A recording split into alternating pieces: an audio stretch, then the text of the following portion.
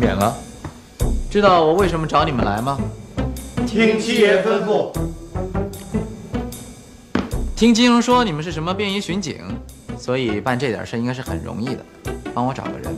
七爷吩咐的事儿，那是一定要照办的。不过这个人年纪有多大？七爷还能不能提供一些其他的情况，我们也好去。一个十七八岁的姑娘，梳着两条长长的大辫子。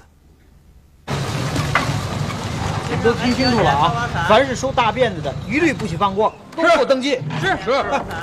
哎，那大辫子，干什么？跟我走一趟。爷，是这个吗？跟我走一趟。你干什么？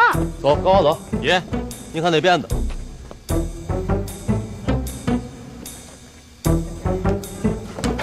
你是谁？跟我走一趟。啊，干什么你？爷，您看是这个吗？七爷，我们把北京的大街小巷能去的地方我们都去了。我们现在查到的梳辫子的姑娘有六千三百四十七位，十岁以下的一共是一千一百零一位，十到十五岁的有一千三百一十二位，剩下的就是十五岁到二十岁的、二十一二的，我们也找了几位，虽然都梳了辫子，但都嫁人了。拿我说笑是吧？找那些长不大的小妹妹干什么？可千万别忘了，把我的八妹也算上啊！八小姐是一定不能算上去的。如果想找八小姐的话，我们也用不着大张旗鼓的上大街上去找了。现在找的小姐，七爷要不要看一看？我们不知道七爷想看的是哪一位小姐。你这蠢货，你让我怎么找？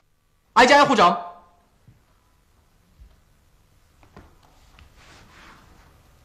给我挨家挨户找！香烟洋火，香烟洋火。